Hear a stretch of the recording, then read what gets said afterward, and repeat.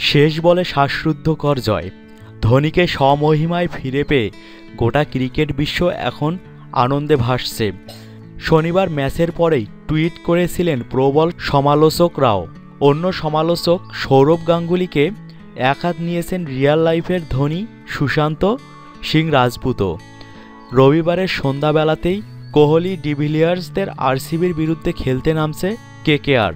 কেকেআরের বিরুদ্ধে খেলতে নামার আগে আরসিবি শিবিরেও ধোনি ম্যাজিকে আক্রান্ত।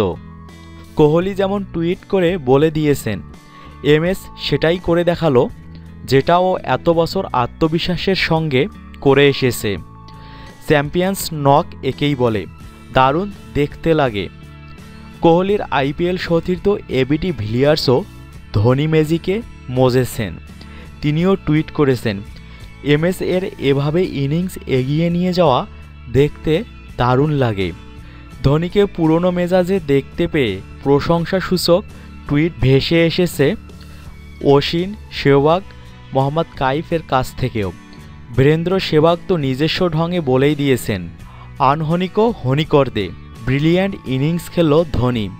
অসিনের টুইট, চ্যাম্পিয়ন ইনিংস খেললো এমএস। আরও একটা দিন ধোনি খেলে দিল। আইপিএল এখন জমে গিয়েছে।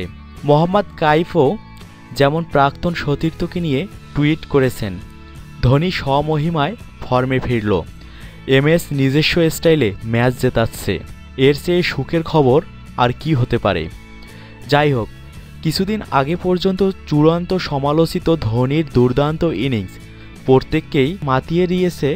ধোনির কাছ থেকে এইরকম ইনিংসেই তো বারবার চাইবেন সমর্থকরা।